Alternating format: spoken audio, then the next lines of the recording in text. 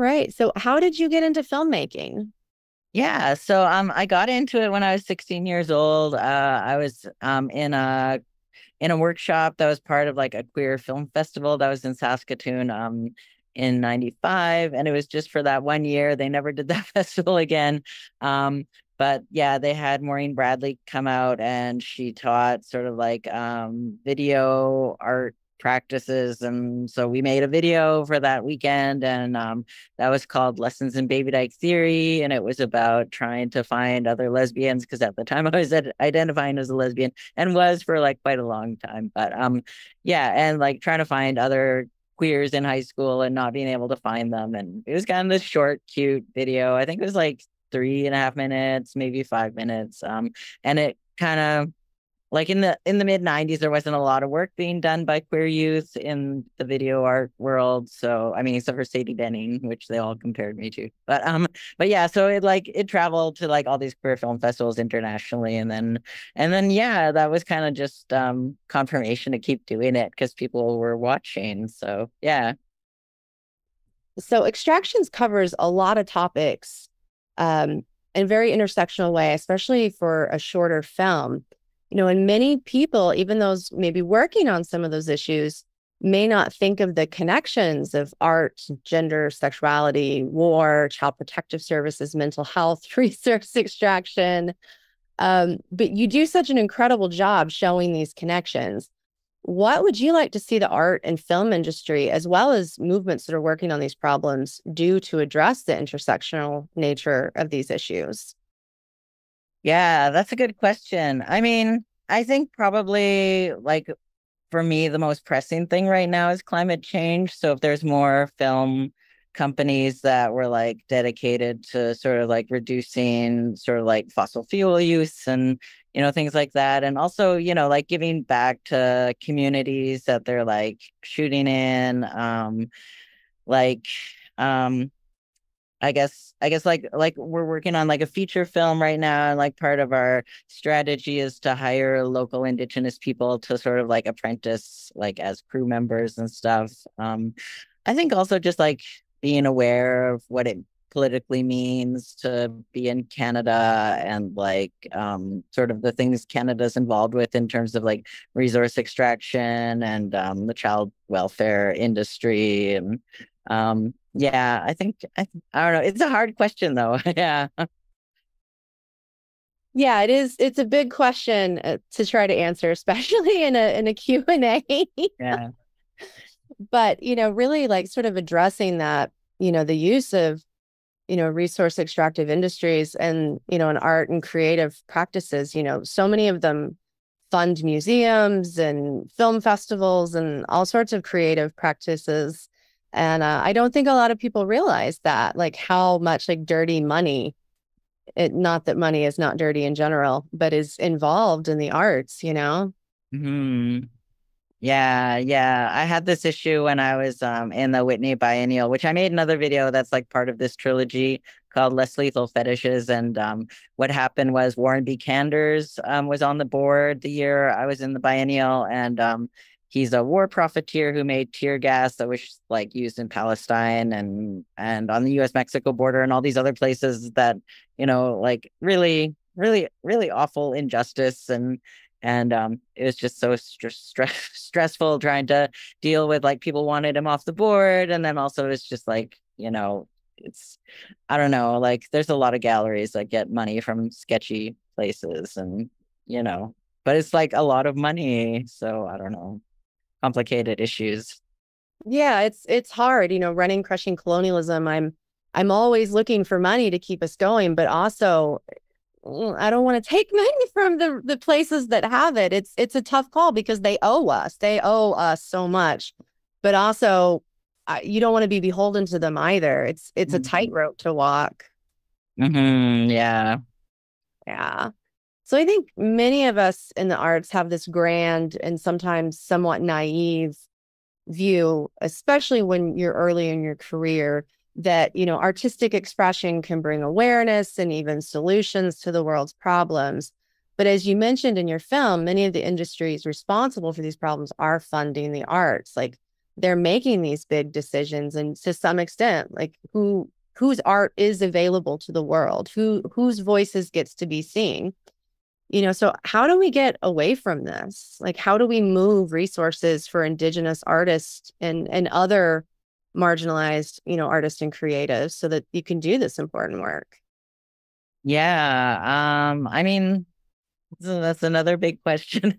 Um i guess really it's like I, I'm like a big believer in like community based art practices and in like you know, sort of teaching emerging indigenous creatives like skills and things like that. Um, I don't know. I guess like I come out of like sort of like a DIY, like kind of punk kind of uh community and sort of aesthetic and and I guess I don't know. I guess there's still part of me that's like a scrappy punk that just wants these like little, you know, like like communities like that are supporting each other and to not have to play the the big art game with all the like money people. um, but at the same time, like there are projects I want to do that I need a lot more money for. And I'm just lucky that like I'm here in Canada and there are some like arts councils and and um telefilm and things like that to like support us. But um yeah, it's definitely a challenge for sure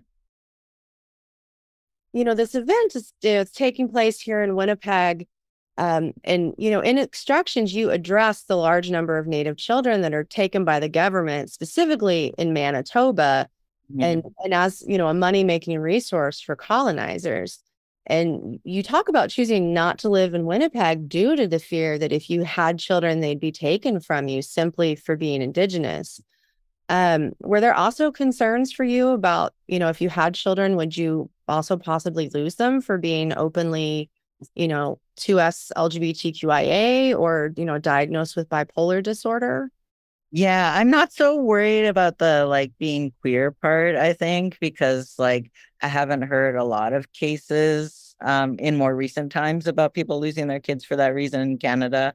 Um, not to say it doesn't happen, but I, I haven't heard too much about that. But like the bipolar thing, like it does worry me because um because like that is a reason people would say that you know your kids are in danger or something especially if you're like having an episode and you have to go to the hospital and and i talk about that a little bit in the film like if you have to go to the hospital and then like you it, like say i didn't have somebody to look after my kids then they they might go into care and and they do like do care temporarily in certain cases but that doesn't mean you'll get them back um so it's yeah definitely difficult um yeah and and i think also like um poverty has also been like a reason that people people's kids get taken into care. I mean, I'll, there's there's like a whole bunch of. I mean, sometimes there's not even a good reason, and people, you know, go to child and family services and try to like, you know, be like, what can I do? And there's really not like they'll prove that they're not on drugs or anything, and they still won't get their kids back. So it's just it's really yeah, it's really awful. Yeah, that's different different government but similar issues in the US like disabled people still openly queer people um you know have their children taken from them all the time native people you know so when I myself was thinking when I was younger do I want to have kids or not? Those were things I thought about like you know I couldn't physically have one so it was like would anyone allow me to adopt or foster? And the answer is no Mm-hmm. and so, yeah, seeing, watching you talk about that, it it really struck a chord with me. Like, you know, Indigenous people don't have reproductive justice. Like, we don't have the same accesses to to the resources that that are ours to begin with, and we're not allowed to, I guess, to exercise our rights to be full humans, to have children, to not have children, to to live where we want to live. You know. Mm-hmm. Um, yeah, and like um what is it called? Non-insured health benefits for like indigenous people in canada. Like they'll pay for like all the like you know contraception you want but like when i was doing fertility treatments they would not pay for any of the medications and those were like really expensive medications but yeah. And you know you just think like reconciliation of course you should pay to like make more indigenous children but no not going to yeah, yeah. No, we we don't want the more we don't want more natives. No, we gotta get rid of them. um so you know, this event, like we are really focusing heavily on our two spirit and other queer relatives.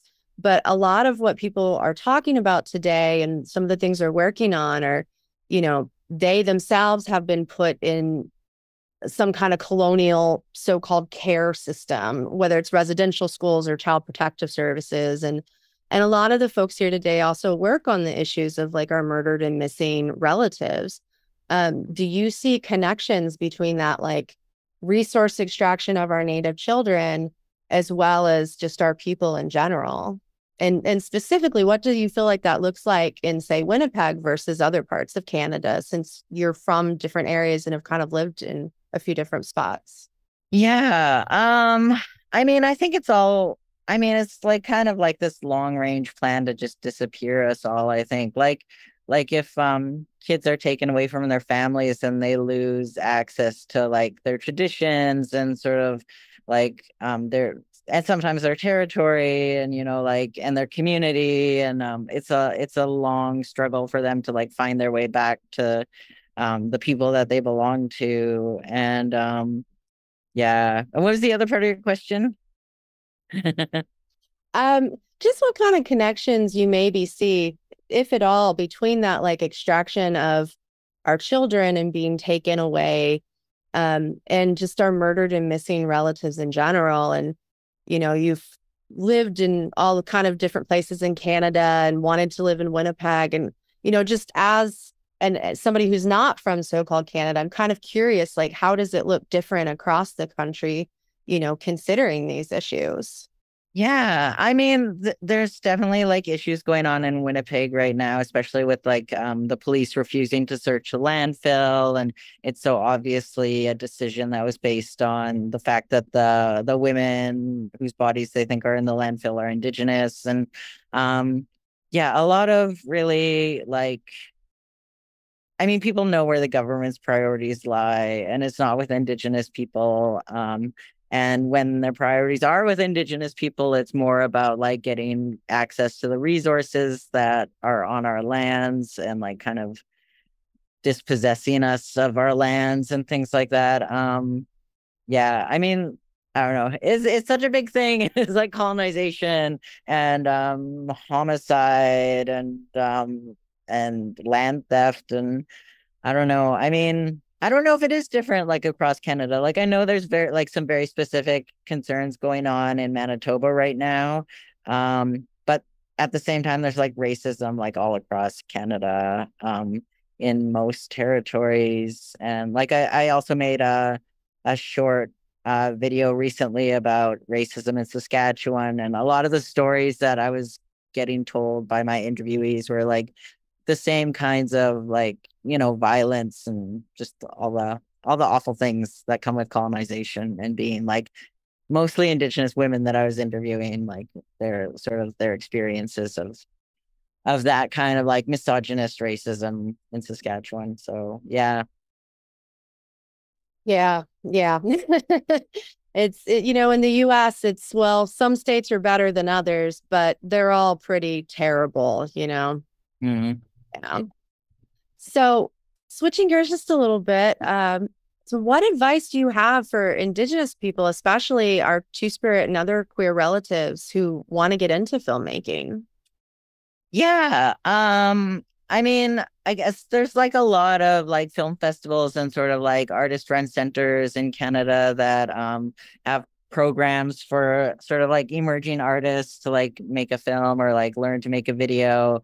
I mean, you can also like apply to film school, but I think like community based learning is also really key, especially maybe for people who don't feel so confident with the education system and want to like experience more like hands on like um, learning. Um, that's kind of how I started, like with workshops and um, and I was going to video in a lot in Vancouver, which was like a video production artist run center. So, and there's like artist run centers like that all across Canada. Um, I think also like there's community groups that like bring in artists to like teach video making skills to their their youth. I think that's always a good good way to get into it. Um, yeah, yeah, very into the workshop thing. and then also there's just like, you know, if you're learning editing, like you can do a lot of that with like YouTube tutorials and stuff. So, yeah. Yeah, it definitely feels a little easier to get into some of the different creative practices outside of having to go, you know, to undergrad and grad school and all Mhm. of those things. You know, the the the routes that often cost a lot of money and take a fair amount of privilege. Yeah. Mhm. Yeah. Um, so where is the best place for for folks to find your films and your work? Yeah, I mean, the best place would be V-Tape, which is a distributor in Toronto. And um, if you're like looking a program, they will usually give you like a password to look at stuff. Um, if you're just wanting to see like some of the things I've made without like signing up to to V-Tape, then you can also find them on Vimeo. It's I think it's vimeo.com slash Thirza cut Cuthand, which is my dead name, but Vimeo won't let me change it for some reason. Um, yeah, or you can Google TJ Cuthand in Vimeo, and I think will find it.